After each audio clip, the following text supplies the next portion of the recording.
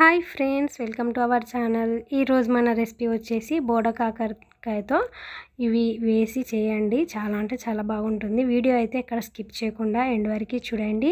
వీడియోలోకి వెళ్ళే ముందు మనం బోడ కాకరకాయతో ఏం చేయబోతున్నామో చూసే ముందు వీడియోకి ఒక లైక్ చేసి నాకు సపోర్ట్ చేయండి అబ్బా. Please please please. ఇక లేచేయకుండా వీడియోలోకి వెళ్దాం. నేను ఇక్కడ పావు కేజీ వరకు బోడ కాకరకాయ తీసుకొని నీట్గా కడిగి తీసుకున్నానండి. ఇప్పుడు వీటిని వీడియోలో చూపించిన విధంగా ఇలా రౌండ్గా కట్ చేసుకోవాలి. రౌండ్గా కట్ చేసుకోవచ్చు లేదంటే నిలువనైనా కట్ చేసుకోవచ్చు.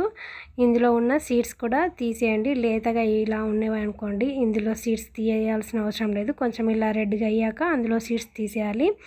ఈ విధంగా కట్ చేసుకొని పక్కకు తీసుకోవాలి. ఇప్పుడు స్టవ్ పై కడాయి తీసుకొని ఒక టేబుల్ స్పూన్ వరకు ఎండు కొబ్బరి వేసి అండ్ ఒక టేబుల్ స్పూన్ వరకు ధనియాలు వేసుకొని వేపుకోవాలి. ఇవి కొద్దిగా వేగాక ఇందులో ఒక ఇలాచి అండ్ రెండు మూడు లవంగాలు ఒక దాల్చిన చెక్క అలాగే ఇందులో జీలకర్ర ఒక పావు టేబుల్ స్పూన్ వరకు జీలకర్ర వేసుకొని ఇవన్నీ చక్కగా వేగాక ఇందులో స్టవ్ ఆఫ్ చేసే ముందు గసగసాలు ఒక టేబుల్ స్పూన్ వరకు వేసుకొని స్టవ్ ఆఫ్ చేసి ఒకసారి విధంగా కలుపుకొని వీటిని ఒక గిన్నెలకి తీసుకొని చల్లార్చుకోవాలి. ఇప్పుడు ఇదే కడాయిలో మూడు టేబుల్ స్పూన్ల వరకు ఆయిల్ వేసుకొని ఆయిల్ వేడయ్యాక ఇందులో పచ్చిమిర్చి అండ్ ఆనియన్స్ కట్ చేసుకొని వేసుకొని ఆనియన్స్ అండ్ పచ్చిమిర్చి మంచిగా వేగే వరకు వేగించుకోవాలి. ఇవన్నీ వేగాక ఇందులో పావు టేబుల్ స్పూన్ వరకు అల్లం వెల్లుల్లి పేస్ట్ వేసుకోవాలి. అలాగే ఇందులోకి పావు టేబుల్ స్పూన్ వరకు పసుపు వేసుకొని చక్కగా కలిసేలా కలుపుకొని ఇందులోనే మనం కట్ చేసుకున్న బోడ కాకరకాయ పీసెస్ వేసుకొని చక్కగా కలిసేలా కలుపుకోవాలండి.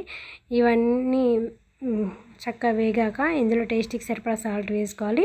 ఈ బోడ కాకరకాయలు మంచిగా ఫ్రై అయితేనే టేస్టీగా ఉంటుంది. చూడండి ఈ విధంగా చక్కగా కలిసేలా కలుపుకున్నాక మూత పెట్టి ఒక ఐదు నిమిషాలు లో ఫ్లేమ్లో ఫ్రై చేసుకోవాలి. మధ్య మధ్యలో కలుపుతూ ఫ్రై చేసుకోవాలండి. ఈలోగా మనం ఒక చిన్న మిక్సర్ జార్స్ తీసుకొని వేంపి ప చల్లార్చుకున్న మసాలా దినుసులు వేసుకొని ఈ వీడియోలో చూపించిన విధంగా బ్లెండ్ చేసుకోవాలి. చూడండి ఇలా బ్లెండ్ చేసుకొని దీన్ని పక్కకు తీసుకుందాం. ఇప్పుడు మనకు బోడా కాకరకాయ ఫ్రై అయిందా లేదా మూత తీసి చూద్దాం. చూడండి కొద్దిగా మగ్గాయి కదా. ఇలా మగ్గాక చక్కగా కలిసేలా కలుపుకోవాలండి. ఇవన్నీ కొద్దిగా కలర్ చేంజ్ అయ్యే వరకు ఫ్రై చేసుకోవాలి. ఈ విధంగా ఫ్రై అయ్యాక ఇందులో మనం బ్లెండ్ చేసుకొని పక్కకు తీసుకున్న మసాలా పౌడర్లు ఇందులో వేసుకోవాలి. అలాగే ఇందులోనే హాఫ్ టేబుల్ స్పూన్ వరకు రెడ్ చిల్లీ పౌడర్ వేసుకొని మసాలాలన్నీ ముక్కలకు పట్టే వరకు మంచిగా ఫ్రై చేసుకోవాలండి. ఒక ఐదు లేదా ఆరు నిమిషాలు లో ఫ్లేమ్లో మంచిగా ఫ్రై చేసుకుంటే ముక్కలకి మసాలాలన్నీ పట్టి మంచి ఫ్లేవర్ వస్తుంది. చూడండి ఇలా చక్కగా ఫ్రై అయ్యాక ఇందులోకి చిన్న కట్ చేసుకున్న కొరియాండర్ వేసుకొని ఒకసారి చక్కగా కలిసేలా కలుపుకొని స్టవ్ ఆఫ్ చేయాలండి. చాలా అంటే చాలా బాగుంటుంది. అండ్ హెల్త్కి కూడా చాలా మంచిది. ఇప్పుడు స్టవ్ ఆఫ్ చేసి ఒక గిన్నెలోకి సర్వ్ చేసుకున్నామంటే అద్దిరిపోయే టేస్ట్తో బోడా కాకరకాయ ఫ్రై రెడీ.